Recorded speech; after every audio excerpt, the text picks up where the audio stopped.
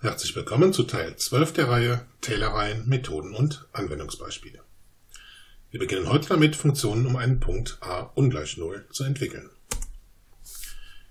Wir haben in den bisherigen Folgen der Reihe Taylor-Reihen um den Punkt x gleich 0 entwickelt.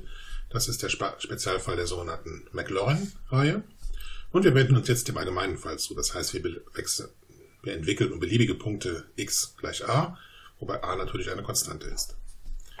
In der Praxis ist es sehr wichtig, dass man den richtigen Entwicklungspunkt wählt, denn die Konvergenz von Taylor-Reihen ist häufig nur in der Nähe des Entwicklungspunktes gegeben und nur da können wir dann die Funktion gut durch Polynome niedriger Ordnung approximieren.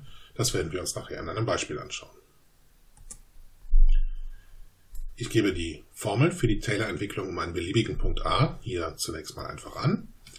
Das ist also f von x wird approximiert durch die unendliche Reihe k gleich 0 bis unendlich, Kater-Ableitung an der Stelle a durch k-Fakultät mal x minus a in Klammern hoch k. Wir sehen hier zwei Unterschiede zur Entwicklung um den Punkt x gleich 0, nämlich zum einen wird die Ableitung an der Stelle natürlich des Entwicklungspunktes ausgewertet, nämlich a, und zum anderen wird in Potenzen von x minus a entwickelt und nicht mehr in Potenzen von x. Natürlich ist es so, dass für a gleich 0 der Ausdruck hier genau in den Ausdruck übergeht, den wir bereits gelernt haben für a gleich 0. Das heißt, dann wird an der Stelle 0 entwickelt und x minus a wird zu x, wenn a gleich 0 ist. Die Berechnung der Taylor-Reihe um den Entwicklungspunkt a verläuft genauso wie im Fall x gleich 0. Das heißt, zunächst werden die Ableitungen bestimmt. Dann identifiziert man das Muster der Ableitungen, diesmal natürlich bei x gleich a und nicht bei, x gleich 0. Und dann setzt man eben ein und bildet die Reihe.